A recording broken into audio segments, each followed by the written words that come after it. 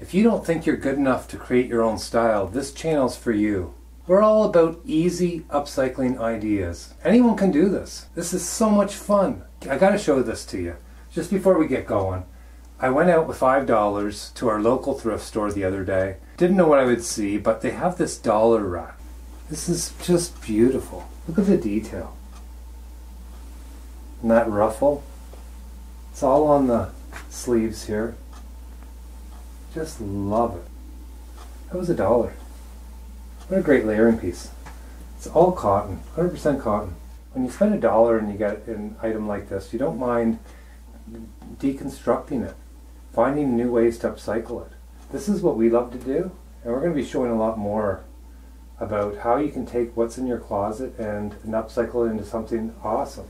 Imagine finding a two-piece suit this is all for Heather. She's a very fortunate one. It's very hard to find men's pieces when you're thrifting. I find it's very difficult uh, to find something that I'm interested in in upcycling. I'm very happy to find pieces for Heather when uh, when I am thrifting alone. But uh, this piece here, just she tried it on and it fits her great, and she's thinking about using it for an upcycling project. And here, here's the uh, here's the skirt here just amazing what you can get for a dollar sometimes. The more you get into upcycling too, the more you realize that it doesn't have to be the perfect suit. You can really do, do some adjustments and make it something amazing. Something that you might see on the runway. Now Heather went into a little bit of shock when she saw that I found this for her. But this is just gorgeous. Just gorgeous. Look at the purple. This is all wool. And I love the it's a velvet black collar. And it, it's very unique the design of it because it was I, I, think it was made in Canada Montreal.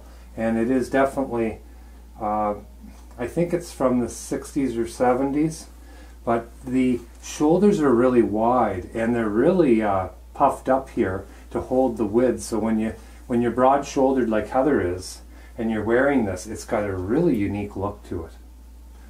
And this is, uh, the, the buttons are, are all metal buttons, and they are quite something to look at. But it's just incredible. So, last but not least, all for $5, I found this other wool coat. And it was actually made by Eaton's which was a company in Canada for, well, I think about 100 years, and it's closed down in the 80s, I do believe. It has a beautiful, beautiful uh, lining in it. We're going to utilize those pieces into something special and show you in upcoming videos. Heather's had this book for a little while now. I wanted to share it with you. Fashion in the 90s, uh, Reinnovation and Restlessness. I found it quite inspiring. There's there's a wide range of uh, creative exploration, definitely, that was being designed uh, in, in, the 90s.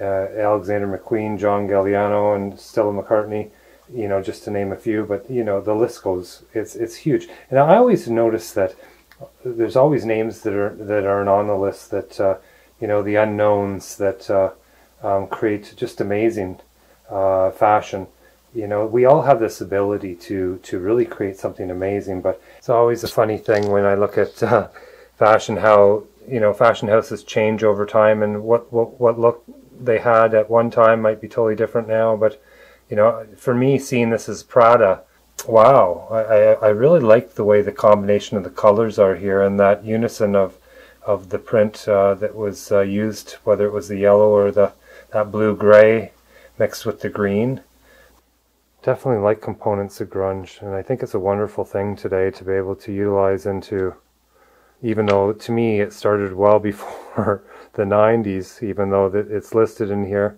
But it's fun to actually mix in parts of grunge into a dressier look. Uh, combining the two of them, I really like that feel. Just love this look here. Wow. Just love that. I love the print. I like the mixture of fabrics really beautiful. The material is a mixture of leather and it's hand painted and with denim. And I'm not quite sure what the denim part is. It's nice to see uh, the painted. This might be my favorite out of all the images in the 90s. Uh, Alexander McQueen, uh, just love the mixture of pattern and silk. Oh my goodness. You have the tartan wool, the black silk satin, and black and white lace. Oh, I just love that. It's just such a, a unique, uh, it's such a beautiful piece. And then over here, and McQueen uh, continues on with just, I love the embroidered, and this is what I'm talking about with her upcycling, finding these embroidered pieces and piecing them on. Uh, that's, it's just gorgeous. This image here, I just love the combination. You know, 90s was a little bit about minimalism, and this to me is takes minimalism and maximizes it, you know, with those sleeves and the flow of the bottom, the purple, and the mixture of the green. Oh, and the vibrance, the metallics mixed into the colors. It's just something. I just love that. Yeah, Christian Lacroix. I probably pronounced it improper, but well, the 90s wouldn't be anything without uh, Vivienne Westwood.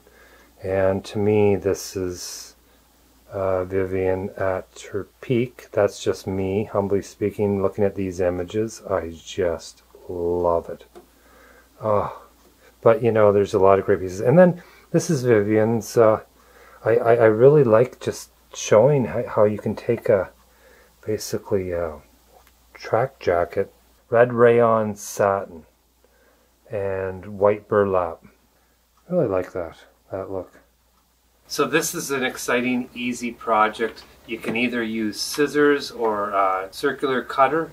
Heather had a $2 pair of leather pants that she bought thrifting and she was very excited. She got them home. They didn't have a change room there and she was thinking it would they would fit her, but they didn't quite fit her the way she wanted to. This is a great opportunity to be able to take these and turn them into something special. First of all, what I want to do is make sure that these are the shape that I want them to be. Uh, I want to have the same length. So what I'm going to do is I'm going to start, just make sure that I'm like, liking the way that they're cut across. Since this is the easiest end to start with because it's straight across, I'm just going to go ahead and hold this tight with a metal ruler. And I'm just going to run my, just nice and slow, see if I got everything off. Good, I got a perfect cut. So that's one done and I'm just looking to keep it basically straight up and down here the pant leg as you can see it's pretty straight there with this line and I've got this point coming in here so I'm just going to move this out a little bit the same angle and we're just going to go ahead and do the same thing on the bottom here. Take, taking off the smallest amount that I can possibly take off. I'm pushing down pretty hard with the cutter. You could mark this with a pastel and use scissors if you wanted to instead. This is great because it gets one cut and you're done. So that's perfect. So now what I'll do is I'm going to flip this over. I'm going to line these up and I'm just going to go ahead and see on top how they match up. So I've got it lined up on one end and I'm just double checking here making sure that everything looks pretty good. Now this is a little bit more difficult when you're doing a curved and you're doing uh, multiple fabric layers of fabric. So you're just doing the best you can to be able to get the shape you want. Um, you have to be really careful with this cutter because it is sharp and it will cut you if you get too close. So um, I'm just kind of trimming up a little bit of the edges. I'm not worrying about perfection. You know, I like the idea that imperfection is perfection. I know it's hard to, to grasp that concept but it really is true. When you, the more you do this the more you realize that slight imperfections when you do a painted portrait and its realism. It kind of looks like a photograph, but it has adjustments where one eye, they might make it much bigger than another eye, but it makes it actually look more real. And it's kind of funny how that, that goes, you know. These adjustments to imperfections actually can make things truly look more perfect. We're going to paint these. Heather would like to have this, a mixture of gold and silver together. And what that's going to do is that's going to thicken up the leather. Okay, it's not going to make it as, as loose. Right now, that's a great thing because we want to actually get a little bit more of a firm form to this not so flimsy because we are going to be able to try to put them on the legs and hold them up over the knee so they'll actually keep the form. So you can slip these on any outfit and really uh, style them up. So I'm just going to use a little bit of DecoArt metallic silver acrylic paint, American Decor, DecoArt, and this is also acrylic. I shook this up good. I'm not going to use any textile medium because uh, this is leather. I'm not going to be throwing it in the washing machine. This here is a two inch brush and this is just a dollar store brush. It's just cheap white hairs. I'm going to do a couple coats on this, okay? So right now I'm just going to rub on. I just want to show you how quick this goes, okay?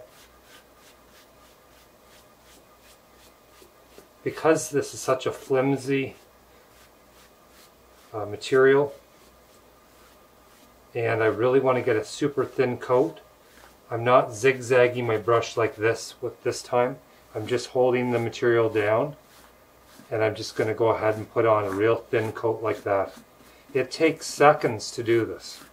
So if you guys want a real simple project, it's just amazing. And then I just give it a light hair dry. And then as soon as I do that, I'll go and do the other side. Make sure it's on thin. Don't worry about it covering well. Okay?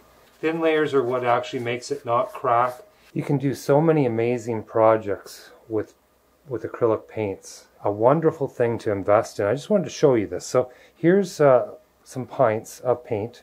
And I actually was running out. Uh, I usually buy in gallon size, but I wanted to show you this. So you can buy this for about $10 a container and this will last you a super long time. But it's a high-end acrylic paint that actually holds up wonderfully indoors and outdoors. Okay, so it's going to do really good on your clothing. And if you went to the craft store and you bought acrylic paint, you'd probably pay about the same amount for way lesser size. So this is, you know, it's amazing how getting getting this much paint for for that. And so what I do is I get the primary colors made up, and you could just ask them to do this. I imagine any paint store around the world will do this for you. Just ask them to do a pure red, pure blue, and a pure yellow um, acrylic paint for you. And this is this is actually pure red. I'm going to open this up and show you. Now these containers are kind of awkward to actually use back and forth all the time. So what I'm doing is I'm repurposing. So I took these honey containers that I have. Uh, we like a little bit of honey. We like to try to re reuse as many of these items as possible if we are buying a little bit of honey and it comes in a plastic container um, or a glass container and it's got a really good lid on it, which this one does, with the right size hole for paint to come out. So, and it snaps shut. So I can actually pour the paint into this and we can use these as our paint containers.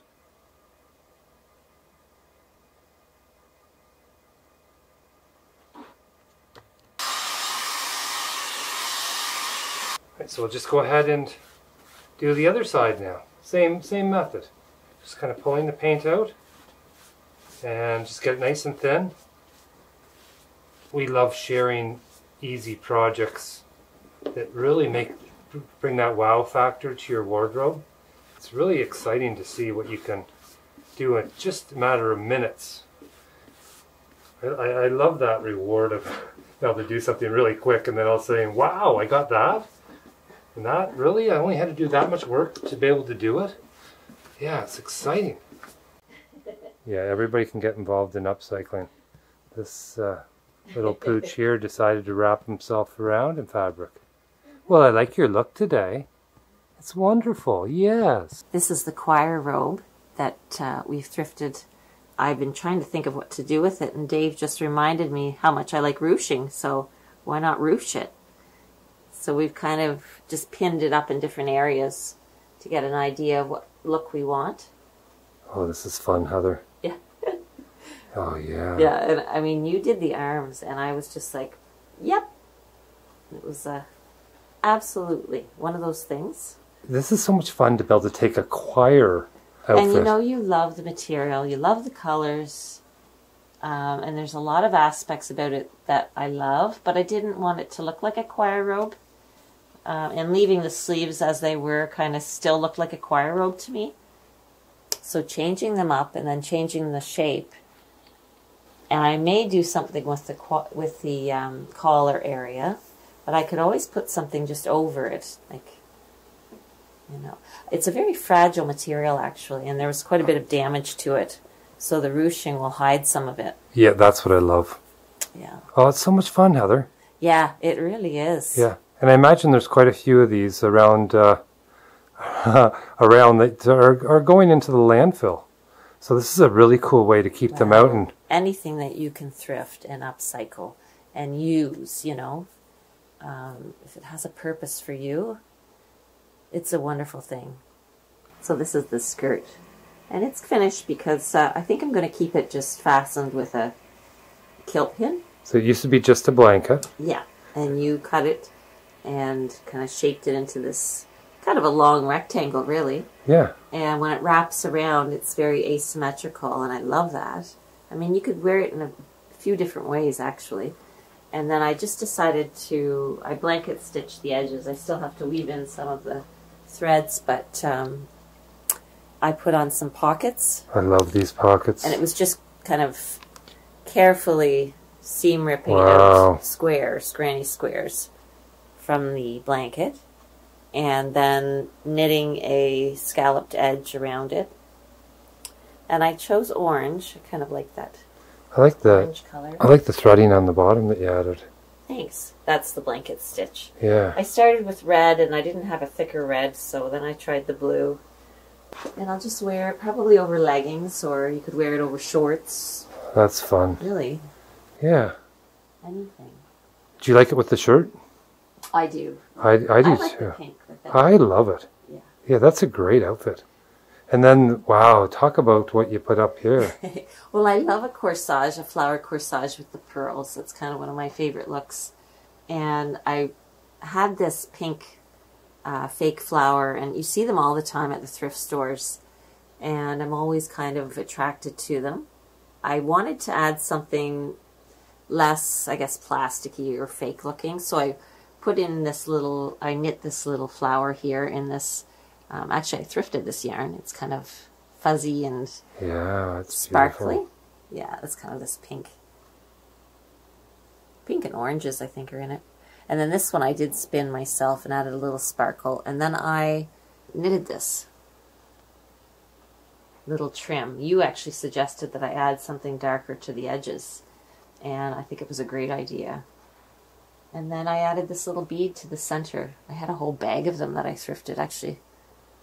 I have a bunch of those little beads. That's awesome. But they make a great little center Yeah. to a flower. Yeah. Such an unusual uh, mixture of items that you have here. Yeah. And it's it's really fun.